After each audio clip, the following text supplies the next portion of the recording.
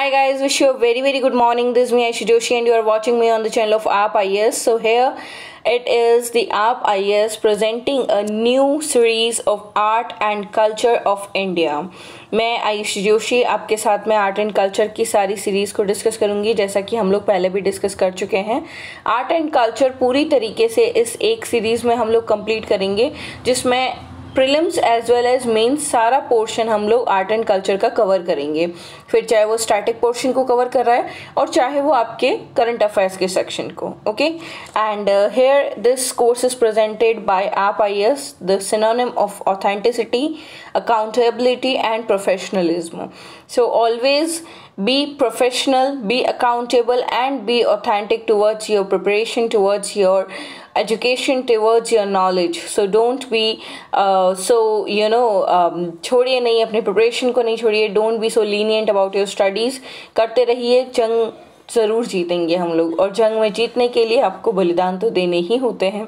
तो ऑब्वियस सी बात है कि काफ़ी सारे जो है काफ़ी सारा बलिदान देने के बाद काफ़ी स्ट्रगल हैंडल करने के बाद बहुत कुछ करने के बाद में जब हम आई ऑफिसर की पोस्ट पर बैठेंगे तो डेफिनेटली वो एक सबसे हसीन लम्हा होगा। सो उस हसीन लम्हे को, उस पोस्ट को कैरी करने के लिए you have to go towards your hard work and preparation और आप आई आपके साथ में जुड़ा हुआ है इस हार्ड वर्क और प्रिपरेशन के लिए। आप I S will help you to achieve your goal and definitely we will work towards it and we will mean it okay so don't forget to join subscribe watch like share our channel देखिए, बहुत ज़्यादा बोलना है मुझे नहीं आता ये सारी चीज़ें, लेकिन अगर आप सब्सक्राइब करते हैं तो आपको रेगुलर बेसिस पर जो है, हमारे वीडियोज़ का जो है नोटिफिकेशन कैरी हो जाएगा और उसके थ्रू आप हमारे इन वीडियोज़ को विज़िट कर सकते हैं। इन वीडियोस के थ्रू आप हम तक पहुँच सकते हैं जिससे कि आपका prelims as well as main से रिलेटेड सारा एस्पेक्ट क्लियर हो जाएगा। ओके? सो so, आज हमारा फ़र्स्ट टॉपिक है फ़र्स्ट चैप्टर है आर्ट एंड कल्चर का फ़र्स्ट लेक्चर है। तो सबसे पहले तो मैं बता दूँ कि art and culture of India is a vast and diverse topic. बहुत ही वास्ट टॉपिक है बहुत ही डाइवर्स टॉपिक है। अधिकतर यूपीएससी यूपीएससी के जो एक्सपीरियंस होते हैं, उन्हें लगता है कि इतना जो डाइवर्सिटी है आर्ट एंड कल्चर का, उसको हम लोग कैसे कवर करेंगे? बहुत डिफ़िकल्ट हो जाता है, क्योंकि यूपीएससी एक्सपीरियंस को सब कुछ कवर करना है। वास्ट एरिया कवर करना है पूरा। डाइवर्सिटी जो है इंडिया की, वो कैरी करनी है। उन सबको पढ़ने के लिए आर्ट एंड कल्चर को पढ़ने के लिए बहुत सारा सब कुछ कैरी करना पड़ता है। तो यूपीएससी एस्पिरेंट्स को ये लगता है कि यार, ठीक है, हमसे नहीं हो पा रहा है या नहीं कर पाएँगे वट एवर जो भी आप आप समझ सकते हैं इस चीज़ को, क्योंकि आप भी एक एस्पिरेंट हैं। Art and culture of India is largely linked with the ancient and medieval history of India मैं आपको बता दूँ कि आर्ट एंड कल्चर जो है, वो एक तरीके से इतिहास का ही हिस्सा है। हमारा जो पास्ट ले लें हम मतलब हमारा जो हिस्ट्री ले लें हिस्ट्री बेसिकली थ्री नहीं फोर पार्ट्स में डिवाइडेड है। अगर हम बात करेंगे ancient medieval and modern India तो ये हमारी हिस्ट्री के पार्ट से हमें लगता है, और आर्ट एंड कल्चर बिल्कुल अलग जो है एक सब्जेक्ट की तरह कंसिडर किया जाता है। तो मैं आपको बता दूँ कि आर्ट एंड कल्चर भी हिस्ट्री और मेडाइवल पर बेस्ड है। अगर आप अकबर अगर आप मुग़ल शासन को, अगर आप जो अरब इन्वेशन देखेंगे, अरब, अगर अगर जो है आप जितने भी हमारे जो एंशियंट मराठास वगैरह रहे हैं, उन सब का भी कहीं ना कहीं आर्ट एंड कल्चर में बहुत बड़ा योगदान रहा है। और आर्ट एंड कल्चर उसी से निकल कर आया है है ना? कि किस समय किस तरह का म्यूज़िक किस तरह के विजुअल आर्ट्स किस तरह के परफॉर्मिंग आर्ट्स किस तरह के अलग अलग तरह के कल्चर जो है ट्रेडिशन जो है, उस समय हुआ करते थे। उसको अलग, देखिए कितना, इतना वास्ट एरिया है कि उसे बिल्कुल एक अलग सब्जेक्ट बना दिया गया आर्ट एंड कल्चर को, है ना? But somewhere it is considered as a part of ancient and medieval history of India even it is the linked part of these areas as पर लेटेस्ट ट्रेंड्स यूपीएससी आज the question not directly UPSC आपसे directly ये नहीं पूछेगी कि मुगल का जो है, किसमें जो है वो था, किसमें उनका शौक था, या उनकी, उनके समय प्रसिद्ध कला का क्षेत्र कौन सा था, ये सारी चीज़ें नहीं पूछती आपसे, है ना? यूपीएससी आपसे हमेशा आर्ट को मिडाइवल और एंशियंट में कनेक्ट करके पूछेगी। यूपीएससी आपसे पूछेगी कि अकबर से संबंधित निम्नलिखित कथनों पर विचार कीजिए और उसके अंदर जो है थ्री स्टेटमेंट्स देगी। उसमें से एक या दो स्टेटमेंट कहीं ना कहीं आर्ट एंड कल्चर सेक्शन से कैरी करेगी वो, है ना? और उसके अलावा कहीं ना कहीं करंट अफेयर्स भी कैरी करती है, जैसे कि सबरीमाला टेंपल वाला इशू आप देख रहे हैं। अभी अपन ने तिरुवनंतपुरम का जो है जो एम्पायर देखा है, वहाँ का जो एक कल्चर चला आ रहा है मोनार्की सिस्टम का, वो हमने देखा है है ना? तो इस तरह की बहुत सारी चीज़ें हैं जो आर्ट एंड कल्चर के करंट अफेयर्स को भी कवर करती है और स्टैटिक पोर्शन को भी करती है। First and the foremost candidate should be or should have a thorough knowledge of UPSC prelims, syllabus, as well as main syllabus. मैं आपको बता दूँ कि अगर आप प्रिपरेशन स्टार्ट कर रहे हैं, पहली बार आप ये लेक्चर देख रहे हैं और पहली बार आप आर्ट एंड कल्चर पढ़ रहे हैं तो सबसे पहले आप ये कंसेप्ट क्लियर कर लीजिए कि आपको प्रिलिम्स और मेंस के अकॉर्डिंग आर्ट एंड कल्चर का सिलेबस क्या है। सबसे पहले आप उसे उठाइए, उसे अच्छे से पढ़िए, उसे समझ लीजिए और इवन आर्ट एंड कल्चर ही नहीं, अन्य सब्जेक्ट दूसरे जो सब्जेक्ट्स हैं, उनके लिए भी अदर जो कंसिडरेशन है, जैसे कि सिलेबस है टाइमिंग है क्वेश्चन देखिए आप लास्ट ईयर प्रीवियस ईयर्स में कितने क्वेश्चन आए हैं। तो इस तरह के सारी चीज़ें जब आप देख लेंगे तो आपके कंसेप्ट क्लियर हो जाएँगे कि बेसिकली ये है क्या, है ना? और हमें किस तरीके से पढ़ना है और कितना पढ़ना है। तो ये सारी चीज़ें करने के लिए सबसे पहले तो आप प्रिलिम्स और मेंस का सिलेबस उठाइए, उसे अच्छे से पढ़िए, ठीक है? अब मैं आपको बताती हूँ कि बेसिकली आर्ट एंड कल्चर को थ्री पार्ट्स में डिवाइड किया गया। ब्रॉडली बड़े बड़े तौर पे अगर मैं बात करूँ मोटा मोटे तौर पे, इसे थ्री पार्ट्स में डिवाइड किया गया है। First of all is visual art second one is performing arts and third one is literary arts ठीक है? अब देखिए विजुअल आर्ट्स किसे कहते हैं? विजुअल आर्ट का मतलब होता है वो आर्ट जो आपको दिखाई देती है है ना? जैसे पेंटिंग है ड्राइंग है सिरेमिक्स है स्कल्पचर्स है प्रिंट मेकिंग है फोटोग्राफी है वीडियो है फ़िल्म मेकिंग है डिज़ाइंस है, क्राफ्ट है, आर्किटेक्चर है, वो सारी चीज़ें जो आपको दिखाई देती है है ना? जिसके अंदर फाइन आर्ट को भी इंक्लूड किया गया है। ये सारी चीज़ें डेकोरेटिव आर्ट एंड क्राफ्ट ले लीजिए, ये सारी चीज़ें जो चीज़ें आपको दिखाई देती है, आप इन्हें महसूस कर सकते हैं, इन्हें टच कर सकते हैं, इन्हें फील कर सकते हैं। ये सारी चीज़ें विजुअल आर्ट के अंदर आती है, ठीक है? उसके अलावा विजुअल आर्ट्स को कितने पार्ट्स में डिवाइड किया गया? है विजुअल आर्ट्स को भी थ्री पार्ट्स में। अच्छा इससे पहले मैं एक ब्रीफ डिस्क्रिप्शन आपको दे देती हूँ।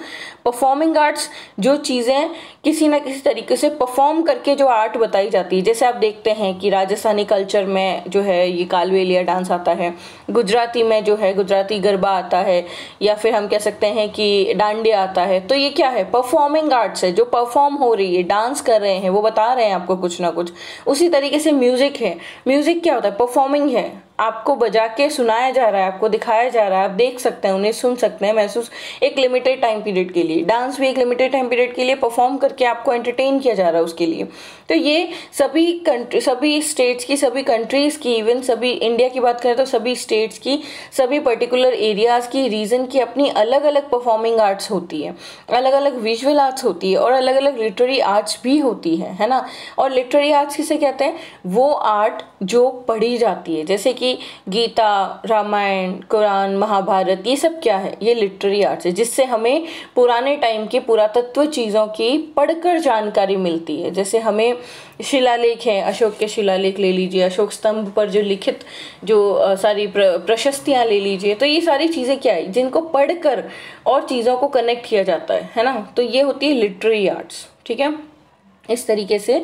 आर्ट को थ्री पार्ट्स में हम पढ़ेंगे, जिसके अंदर डांस एंड म्यूज़िक जो है, वो परफॉर्मिंग आर्ट्स में आ जाएगा। पपेट्री डांस म्यूज़िक ये सारी चीज़ें जो है ड्रामा ये ये सब जो थिएटर आर्ट होती है, ये सारा परफॉर्मिंग आर्ट्स में आ जाएगा। उसके बाद में उससे पहले विजुअल आर्ट के अंदर, जैसा कि अभी हमने डिस्कस किया यहाँ पे, कि पेंटिंग स्कल्पचर्स आर्किटेक्चर ये सब विजुअल आर्ट्स में आ जाएगा। इसके अलावा अगर हम बात करें लिटरेरी आर्ट्स तो वो सारे आर्ट जो कि लिटरेचर को कैरी करते हैं। मतलब जो लिखित में है, जैसे गीता, महाभारत, ये सारी चीज़ें, ये सब लिटरेरी आर्ट्स के अंदर आएगी। तो ये सारी चीज़ें आपको समझ में आ जानी चाहिए और उम्मीद करती हूँ बेसिकली चीज़ें आपको समझ में भी आ चुकी है। अब हम बात करेंगे विजुअल आर्ट की। विजुअल आर्ट जो है, उसे थ्री पार्ट्स में डिवाइड किया गया है। First of all is painting second one is sculptures and third one is architecture ये जो तीनों पार्ट हैं, ये बेसिकली विजुअल आर्ट्स के हैं। विजुअल आर्ट्स जो है थ्री पार्ट्स में डिवाइडेड है ओके okay? अब हम बात करेंगे इंडियन पेंटिंग्स की। सबसे पहले लेते हैं इंडियन पेंटिंग्स तो इंडियन पेंटिंग्स जो है, वो भी थ्री पार्ट्स में डिवाइड की गई है। वॉल पेंटिंग्स ले लीजिए। मिनिएचर पेंटिंग्स ले लीजिए, या आप मॉडर्न इंडियन पेंटिंग्स ले, जैसा कि आपको पिक्चर में दिखाई भी दे रहा है मॉडर्न इंडियन पेंटिंग है ना? तो थ्री आर्ट्स में थ्री जो है पार्ट के अंदर हम लोग इंडियन पेंटिंग आर्ट को कनेक्ट करते हैं या डिवाइड करते हैं। यही अगर हम बात करेंगे इंडियन स्कल्पचर्स की, या भी हमने बात की है पेंटिंग्स की, है ना?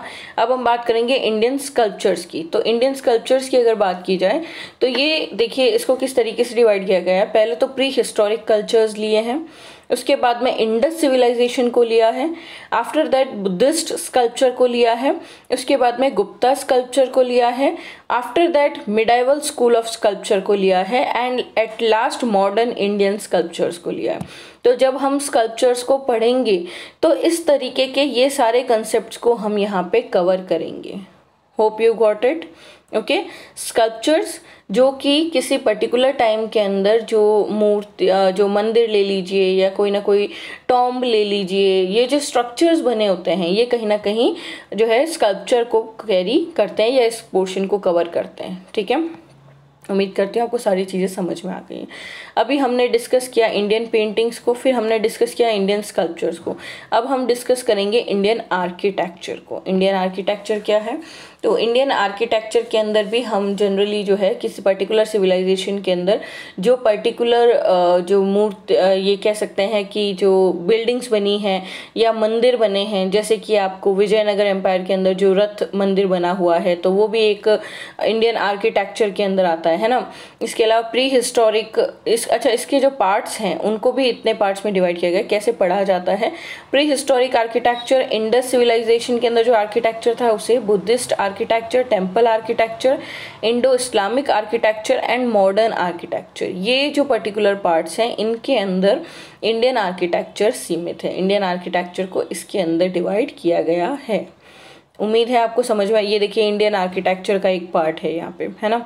तो अब हम शुरुआत जो करेंगे चैनल की, देखिए ये सारी चीज़ें तो हमने एक ब्रीफ इंट्रोडक्शन लिया है पूरा। जितना भी आर्ट एंड कल्चर को डिवाइड किया गया है पार्ट्स में और जितने पार्ट्स में डिवाइड किया गया है, उनके क्या पार्ट्स हैं, सब पार्ट्स क्या क्या हैं तो ये सारी चीज़ें हमने इस एक लेक्चर में अभी तक देखी हैं।